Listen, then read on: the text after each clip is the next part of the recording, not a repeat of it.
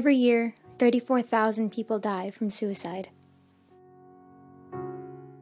About 750,000 people attempt suicide.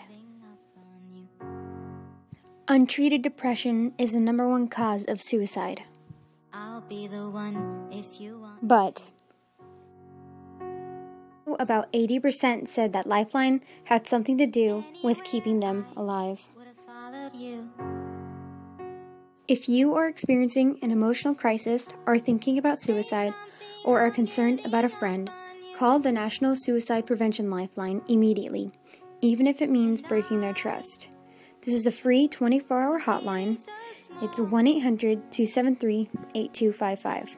Again, that's 1 800 273 8255. You or their future self will thank you.